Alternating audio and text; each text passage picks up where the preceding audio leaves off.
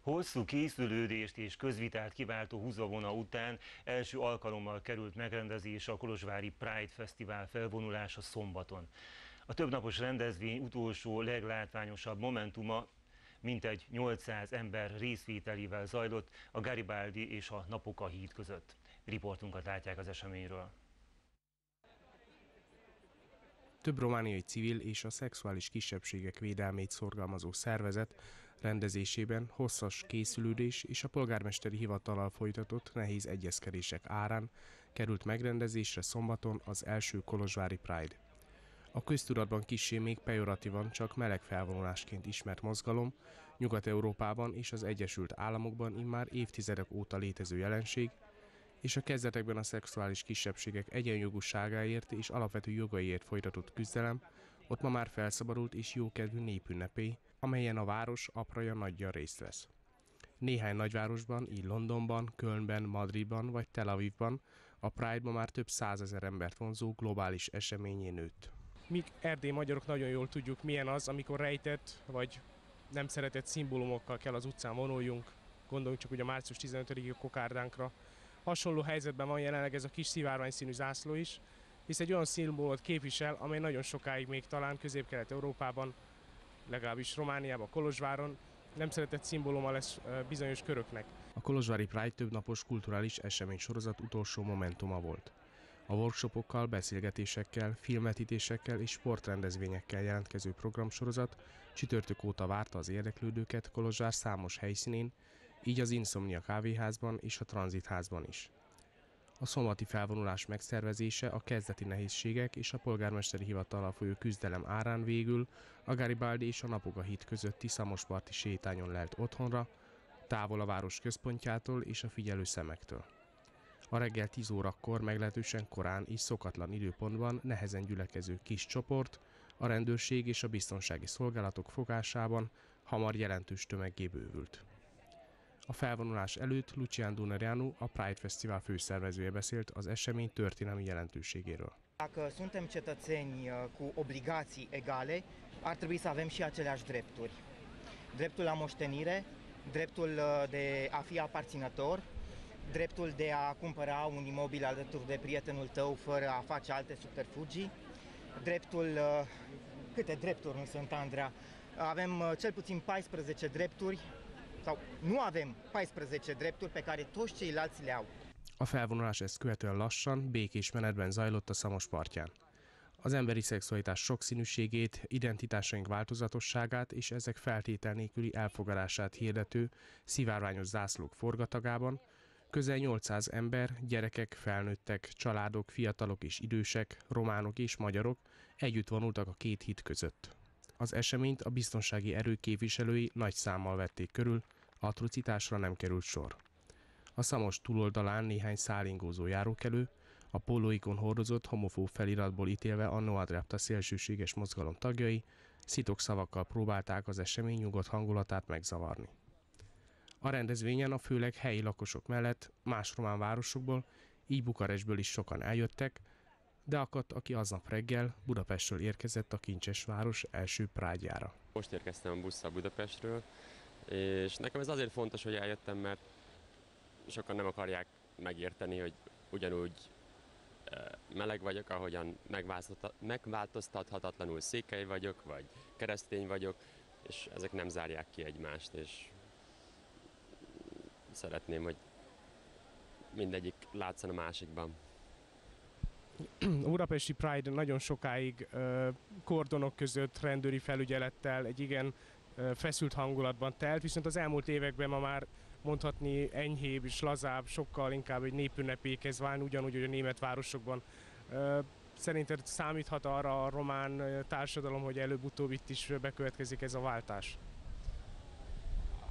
Hát első körben gondolom itt is ilyen politikai jellegű tüntetés lesz, ahogyan 2007-től, 8-tól Magyarországon is megint kezdett ilyen nagyon csak ö, demonstráció lenni, aztán ha minden jól megy, megint átváltat utcabába, de nem tudom, hogy itt ehhez mennyi idő kell majd.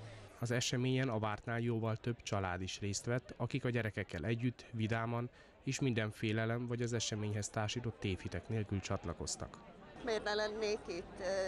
Gyermekeim vannak, úgy gondolom, hogy ők is nagyon-nagyon fontos, hogy megtanulják azt, hogy bár ők tudják, nem kell nekik megtanítani, amit a felnőttek nem tudunk, hogy, hogy minden ember más, és ezt a minden ember másságát tiszteletben kell tartani. Vagy hogy mindenki másképp egyforma, és úgy gondolom, hogy az, hogy 2017-ben ott tartunk, ahol tartunk ebben az egymás elfogadásában, az, az elfogadhatatlan. Bár a nyugati felvonulásokon ma már minden párt és politikus képviseli magát, az első Kolozsvári Pride-on a városvezetés teljes egészében hiányzott, míg a legfiatalabb városi tanácsosok sem vettek részt. Akadt azonban magyar politikus is a felvonulók között kisebbségiek vagyunk, érted? Nekem van vagy három gyerekem, vagy ha nem több, ugye. Én, én szimpatizáns vagyok, ugye? Szerintem mindenki, a, a, a szerelem az két embernek a, a, a kapcsolata kérdése, ugye? Hogy azok milyen nemzetiségűek, milyen neműek, vagy valami. Az a fontos, hogy legyen kapcsolat, legyen szeretet köztük, úgyhogy én ezt a én ezt a cuccot, ezt a, ezt a menetet támogatom a jelenlétemmel. A szervezők a rövid, alig egy órás eseményt sikeresnek és a váltnál jóval népszerűbbnek mondták, és reményüket fejezték ki, hogy jövőre már a város központjában is megszervezhetik a második Kolozsvári Pride-ot. És akkor a stúdióban folytatjuk vendégeim Albert Antal Orsolya szabadúszó újságíró, az Erdélyi Figyelő Mi című beszélgető műsorának a házigazdája és Kulcsár Árpád költő, a Transindex munkatársa. Sziasztok, köszönöm, hogy elfogadtátok a meghívást. Szia, üdvözlöm. Most mindketten ott voltatok a Pride-on. Hát gondolom újságíróként is, civilként is, bizonyos fajta meggyőződésből, de akkor első kérdésem az lenne, hogy kinek, kinek mi volt a motivációja. Itt néhány dolgot hallottunk a bejátszásban, hogy ki miért és milyen, milyen háttér felől közelítette ezt az eseményt. Olsi, kezdjünk fel. Azt hiszem elsősorban civilként voltam jelen. Valahol anyaként elsősorban szerettem volna, hogyha a gyerekem látja, hogy ha fontosnak tartok valamit, amiért érdemes kiállni, ha fontosnak tartok egy ügyet, akkor ez abban is megnyilvánulhat, hogy elmegyek egy ilyen tüntetésre. Fontosnak találom azért is, mert egy iskolának vagyok az igazgató tanácsi tagja szülőbizottságban is tevékenykedem. Nagyon fontosnak tartom, hogy a többi szülőnek példát mutassak, hiszen ezekben a közösségekben nagyon sok fiatal ezzel, a, ezzel, a, ezzel él együtt, hogy ő más, mint a többi, és bizony nem mindig mer megnyilvánulni, nem mindig meri vállalni saját magát. És én e, elsősorban emiatt mentem el, hogy lássák, hogy igenis el lehet menni, azért, mert az ember úgy gondolja, hogy ez egy igaz ügy, amit igenis támogatni kell, akkor ilyen formában is meg kell mutatni, hogy az ember vállalja a nyilvánosságot és elmegy egy ilyen tüntetésre. Számomra nem is volt kérdés, hogy ott legyek el. Azt hiszem, hogy annyira alul reprezentált a téma, és annyira nehéz a melegek helyzete itt Romániában, hogy vannak olyan helyzetek, amikor, amikor természetes szolidaritásból ott kell lenni, és ilyenkor le kell vetközni mindenféle szakmai vagy más fontosságokat, és, és egyszerűen civilként plusz egy főként ott kell lenni egy tüntetésen, hogy felhívjuk a figyelmet egy problémára, és hát azt hiszem, hogy tényleg egy, egy nagyon fontos pillanata volt ez, mint egy történelmi pillanata ennek a közösségnek, és ott, ott kellett lennem. Egyébként az látszott, meg azt hallottuk azoktól, akik helyszínen jelen voltak, hogy, hogy szinte többen voltak a, hát nem a szimpatizások, hanem a szolidaritást vállalók, és talán azt, amit te mondtál, hogy nehéz helyzetben vannak, pontosan azzal lehetne valahogy uh, hát nem is tudom, illusztrálni, hogy távol maradtak az érintettek ebben a történetben, ami valahogy arra utal, hogy nagy a félelem. Arra gondoltam egyébként, miközben itt próbáltuk valahogy kalap alá behelyezni ezt a témát, hogy egyrészt a sajtóba lefutott, ami az aktualitással kapcsolatos, ez ügyben, ugye az a konfliktus, ami így szerencsétlen végződött, de az egyik dolog pont ez, hogy valahogy a revendikált identitás mindig konfliktuális szituációkat hoz, nem? Tehát akkor valahogy arról kéne picit gondolkodnunk, és mindkét csoport, ha ebben a történetben lehet így redukálni, prostó módot talán így munkaverzióként megtehetjük, hogy van egyrészt az a normalitás, amit ez a társaság próbált valahogy reprezentálni, és van az a normalitás, amit mondjuk egy más, egy, egy más esemény a városnak egy más színterén uh, próbált reprezentálni. Mindenki a maga igazságát próbálja valahogy érvényre juttatni. Hogy néz ki ez a két normalitás? Orsi, te hogy látod? Engem az bosszant ebben a kérdésben igazán, hogy uh, nyilván, hogy a normalitás az egy, re, egy relatív dolog, tehát hogy ki mit tekint normálisnak, az, az ahányan vagyunk. A kérdésem, az persze. Egyértelmű. Viszont én úgy gondolom, hogy ami a, a, a LMBT közösséget illeti, arról azért jó lenne, hogyha, hogyha teljesen egyértelművé tennénk mindenkinek a számára, hogy vannak velük kapcsolatban bizonyos tudományos tények tehát, hogy a homoszexualitás például elég sok éve kikerült mindenfajta betegség lexikonból, pszichológia könyvekből, orvosi könyvekből, stb. Tehát amikor megítélem a homoszexualitást, akkor az nem úgy van, hogy én úgy gondolom, hogy a homoszexualitás így meg így alakul ki egy ember lelkében, vagy nem tudom én, nemi szervében, vagy bármiben, hanem igenis vannak tudományos tények, és ezt jó volna figyelembe venni, és ennek alapján aztán eldönteni, hogy én azt guztustalannak találom-e, ha két férfi csókolózik, vagy nem.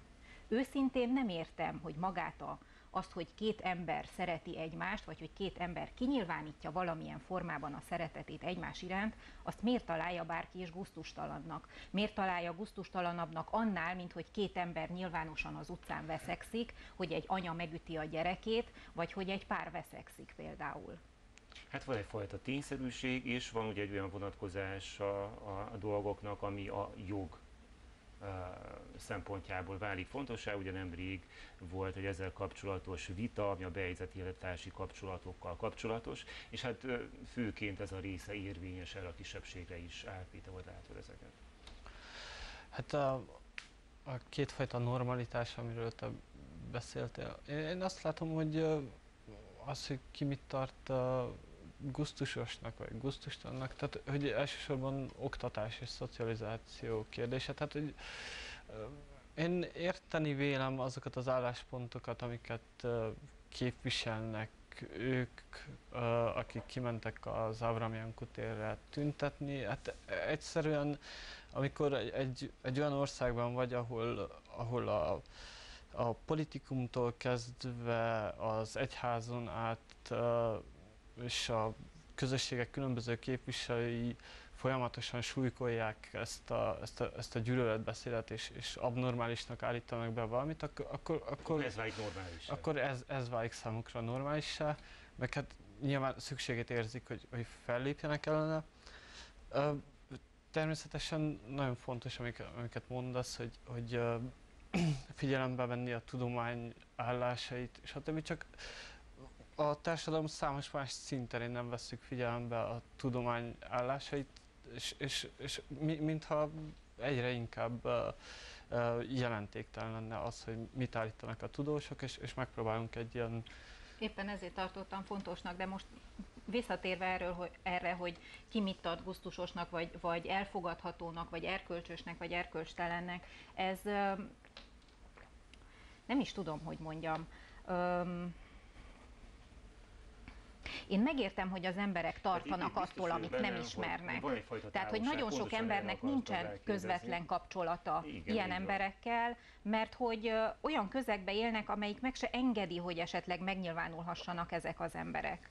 Tehát nagyon sok, nagyon sok közösségben ilyen, ezek titokban élnek ezek az emberek. A Pride egy ilyen fajta Óriási lépés. Szerintem óriási lépés, és nagyon, még akkor is, hogyha, hogyha kevesebb meleg és több szimpatizáns vett részt, akkor is óriási lépésnek tartom, hogy egyáltalán ez megtörtént, és nagyon remélem, hogy jövőre lehet, hogy néhányal már többen lesznek azok, akik közvetlenül ebben a közösségben élnek, ehhez a közösséghez tartoznak, és valamilyen szinten oldódik ez a, mert valahol úgy érzem, hogy bennük is nagyon nagy a feszültség, és nagyon nagy a félelem, sokszor lehet, hogy indokolatlanul. Tehát én, én most elképzelhetőnek tartom például azt is, hogy mondhatná valaki, én például mondhatnám azt, hogy igen, nekem van férjem, gyerekem, de most ki mondja meg azt, hogy én biszexuális vagyok, vagy nem.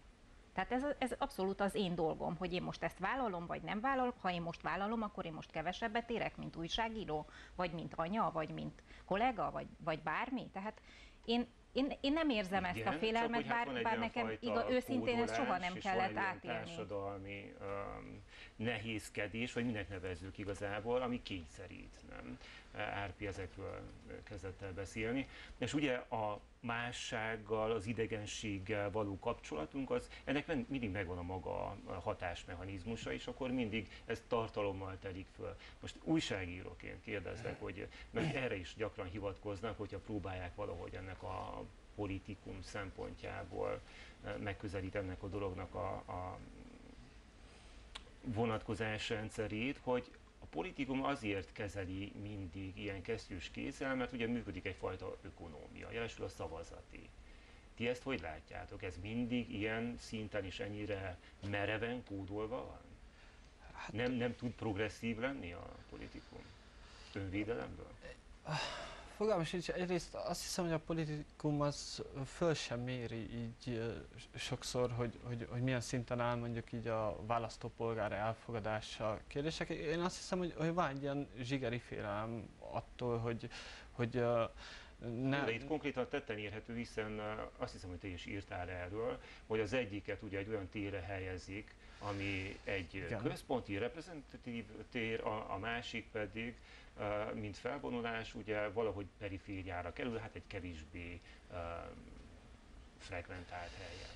Igen, ez, ez én, én tényleg azt gondolom, hogy ez a polgármesteri hivatalnak egy ilyen csúsztatása volt, hogy, hogy akkor meg is engedjük a Pride-ot, de nagyon jól eldugjuk így a városban, oda tesszük, ahol senkit nem zavar, egy olyan időpontba, ahol ahol mondjuk így, így, így nem tűnik fel, uh, tehát hogy, hogy valamiképpen marginalizáljuk, és, és akkor ne, nekem tényleg erős gesztusnak tűnik az, hogy, hogy az ellenfelvonulást viszont a város központjába helyezzük egy szimbolikus térbe, katedrális, uh, hazafias szobor tövébe. Gyakorlatilag akkor... koncentrálva, ugye egy igen, retorika, tehát, hogy, amely hatalmon van.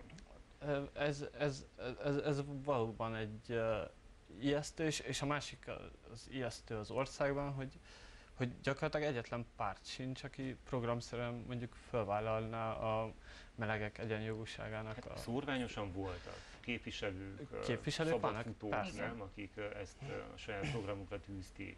Én azt mondom, hogy, hogy gyávák, gyáva a politikum így amblok, hogyha, hogyha nem meri vállalni a, a melegek támogatását, illetve most ez kitűnő alkalom volt arra, hogy lássuk, hogy sokkal többen voltak a, a, a Pride-on, mint a, az ellentüntetésen. Úgyhogy ha egy csepet nem amatőrök a Pride szervezői, akkor már nem tudom, hogy, hogy erre mi a jogi keret, de hogy én már az idén letennék egy kérést jövő július 1-ére, hogy, hogy idejében legyen legyen ott, és most már egyértelmű, hogy a, a Pride-nak jóval nagyobb a létjogosultsága, hogy egy nagyobb területen megnyilvánulhasson, hiszen azt az 50 ember simán mehet oda majd a, a szamos partra, hogyha még mindig úgy gondolják, hogy azok a gondolatok, illetve az az ideológia, amit ezek az emberek a propagálni akarnak, a helye van egyáltalán nyilvános területen. Tehát, hogy...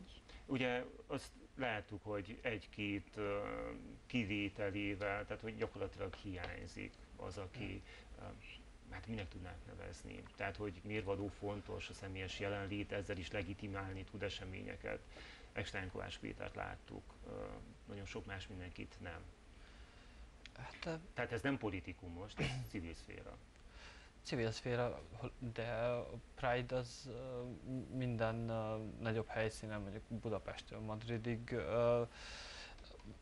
azért egy ilyen óriási felhajtóerő, mert politikusok kimehetnek civilben jelezve, hogy, hogy, hogy támogatják. Tehát, hogy Magyarországon tényleg, tényleg több ellenzéki párt is készül már az idén, ahogy láttam. Hát távolmaradás van, és tényleg ilyen partizán akciók, amikről beszélünk, hogy egy-egy képviselő ilyen-olyan megfontolásból valóban felmeri vállalni, de, de tulajdonképpen pártkonszenzus. Az... Próbáljuk meg valahogy pozitívan zárni, kevés idő maradt. Hát mindkettőtök irányából valahogy úgy éreztem, hogy uh, hát hogy ez munka kérdése. Ha Igen. középtávon kéne valahogy önmagunk számára, és akkor most egy ilyen újságírói rezonra gondolok, ha ez így megengedett, hogyan lehetne fölépíteni annak a, a munkának a, a segítségét mondjuk, mi ezt tudnánk megtenni?